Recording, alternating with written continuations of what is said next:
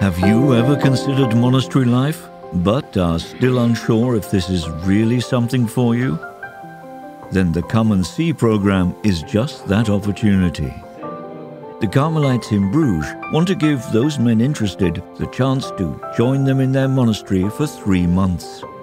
You won't feel alone either, for during your stay, the brothers are there to introduce you to the spirituality of the Carmel. The brothers also teach you what their task is within the church and the world.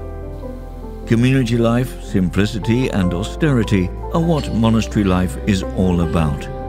The brothers do all they can to be as self sufficient as possible.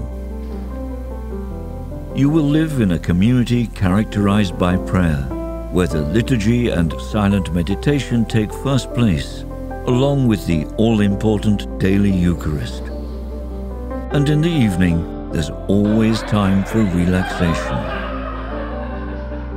The Come and See program is intended for celibate men between the ages of 18 and 40.